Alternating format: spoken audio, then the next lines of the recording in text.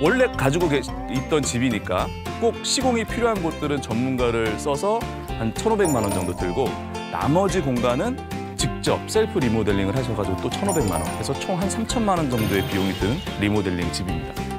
와. 저 큰 집을 진짜 어. 저렴하게 잘 하셨네요.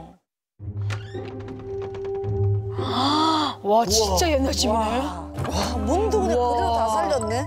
아이고 황토방. 지지는 거 저저 밑에 지금 어, 꺼낸 거 봐. 이야. 올황토래 와. 냄새 너무 좋겠다. 여기가 이제 예전에 이제 일하시는 분들 여기서 이제 묵던 그런 공간이에요. 보시면 바닥이 새카맣게 이렇게 파 있잖아요. 아래 온돌에서 지피면 그대로 지금도 쓰신다고 하거든요. 여기가 이제 한지를 이용해서 바닥을 붙이고